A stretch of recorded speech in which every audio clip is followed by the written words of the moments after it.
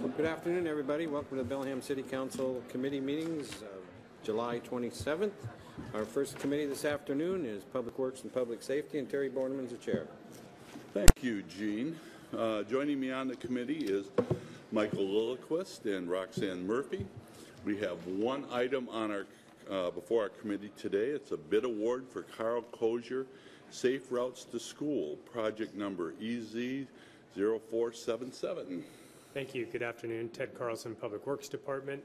Uh, This project is part of a Safe Routes to School project. Uh, The city works closely with the Bellingham School District to identify uh, areas near elementary schools that could use pedestrian improvements to increase the number of children that can safely walk to school. Uh, I've put a project map on the overhead for you to show that there's really two different project locations. Uh, All of this is to serve Carl Crozier uh, more effectively and increase the number of students that can walk to school. Uh, The project includes sidewalk on the north side of Gladstone, uh, as depicted on the map, as well as intersection improvements at Lincoln and Potter that include crosswalk, ADA, uh, lighting, uh, as well as school beacons. We received four bids, and the lowest responsive responsible bidder was Bianchi Construction. Uh, Staff does recommend award. Steve Day is the project engineer on this, on this particular project and can certainly answer any questions you have for him today. Michael? I have a few small questions. Um, The bid came in over the engineer's bid, but did it come in under budget? It did. Um, This particular project is funded largely by a Safe Routes to School grant. $237,000 of the total project is paid for through Safe Routes to School.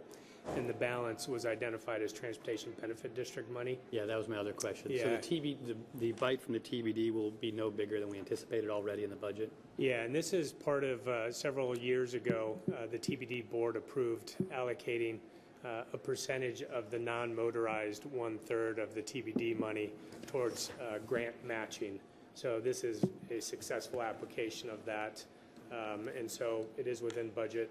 And Steve can speak a little bit more to the project cost, but it's not um, common at this point. We're seeing our bids rise a little bit, uh, especially later in the construction season. I think uh, it's just a matter of, of all the work that's out there and hopefully a recovering economy to some degree. Anything else? Yes, Gene? We'll let her go first if she's in. Oh, I was just going to move that we award the bid to Bianchi Construction for the Carl Carl Cozier Safe Routes to School. Gene? Okay, uh, Ted, I asked, uh, Bianchi Construction, that looks new to me. Are- Have we done business with them before? Yeah, it's, uh, that's a good question. They have not completed a public work project for us in the past. They have uh, done some training for our operations staff. Uh, So they're uh, a viable construction firm. They haven't worked for us. I believe they're out of Mount Vernon. Yeah, That's fine. Um, And we are, we do require, you know, all of the information be submitted. You can see in the packet. Uh, This is something we haven't talked about recently, but now in all of our bids, we're including a um, mandatory bidder responsibility checklist, and that's something you're seeing now in the packet. Uh, And we go through and look to make sure that they're not on any, any particular list or any reason why we shouldn't use them. Okay, thanks. Okay. Uh, Dan? Ted, I was curious as to how these project sites were prioritized and identified um, in terms of locations of families and so forth. Is there some type of inventory or analysis that that's conducted? Yeah, the, uh, our transportation coordinator, Kim Brown, works closely with the, uh, the school district to kind of identify where, how- the modes that children get to school, how they get to school, where they come from. And there's a, just off the, the map here to the right, Toledo Court leads into a, uh, a development, uh, I think it's Magnolia Hills, if I'm not mistaken. I may be incorrect on that, but there's a, a large, uh, uh, population that feeds into the school district or to the school site from that location. Gladstone uh, Street had a, a just a asphalt shoulder on one side, and uh, as part of this project, we're formalizing that up to make it uh, a safer actual sidewalk, adding some illumination. It runs through the Salmon Creek open space or Salmon Creek uh, Salmon Woods open space.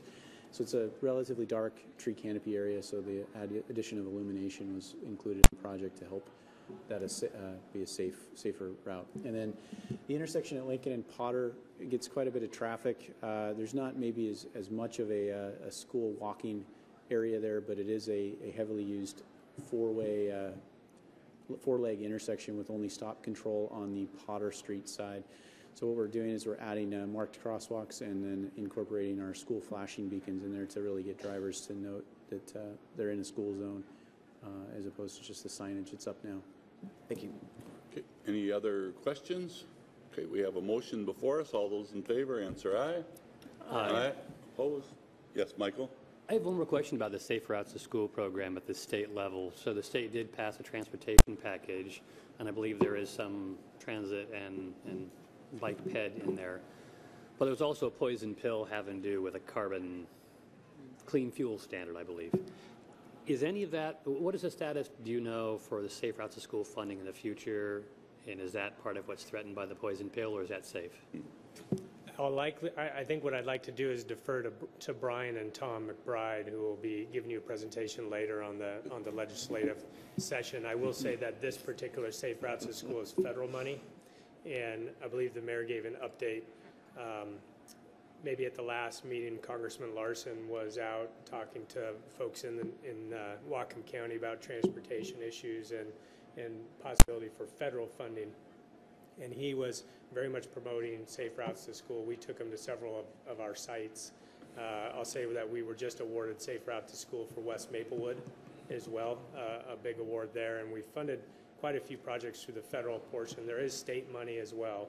Uh, because of our size, uh, being a, a larger city in the state, at least by comparison, we typically qualify for the federal funding rather than the state funding um, can be more problematic for small jurisdictions to manage federal funds. And these guys like Steve do it all the time, so um, we're more equipped to deal with it. But uh, t- I'm sure Tom can elaborate on the transportation package this afternoon. Okay, End of committee. Okay, thank you very much, Terry. We'll take a short break, and then we'll go on to Parks